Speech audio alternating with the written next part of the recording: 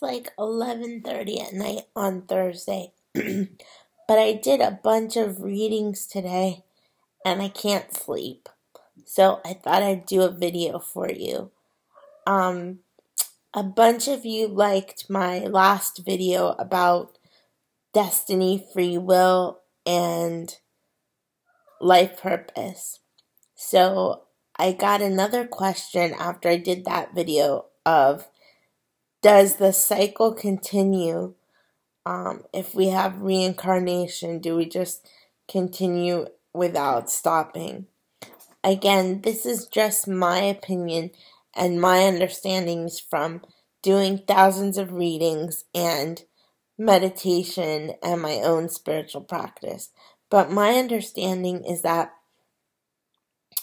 we reincarnate to learn life lessons, and Uh, each incarnation is to help us learn a specific spiritual lesson, and we continue to incarnate as we have to continue evolving.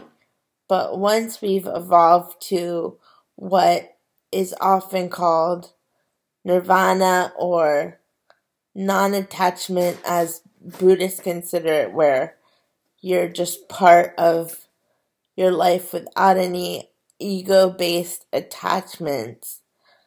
Um, then we have the chance or the choice to become a spirit guide. All of us have spirit guides. It's like a guardian angel that's specifically assigned to us to help us in each incarnation. And once we've evolved as much as we can and basically hit that pure love nirvana state, our spirit can have the choice of being a spirit guide or a guardian angel for someone else as they go through life. So many spirit guides have actually been humans in their past lives, and that's why they relate so much to our struggles. Some spirit guides, like my spirit guide Robin, um, has have not been in human form. She is actually angelic form, and that's because, from my understanding, we have a very strong connection, and she has been guiding and protecting my spirit through many different lifetimes, which is why I do the spiritual work that I do now. Um, but in most cases, a spirit guide is a spirit that has at one time been in human form. And again, that's why they understand our human struggles.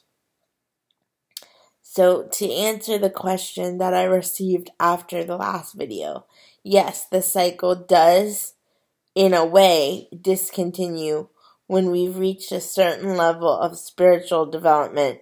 We then begin to start a chapter or start a cycle of being a spirit guide, if we so choose. But even then, our spirit is continuing just in a different form. So I hope that answers the question. I connect to my spirit guide on a daily basis. Her name is Robin. She's been with me for 46 lifetimes, which is many lifetimes. That's why we're able to communicate so well in this lifetime. And she actually asked God to allow me to see her and hear her in this lifetime.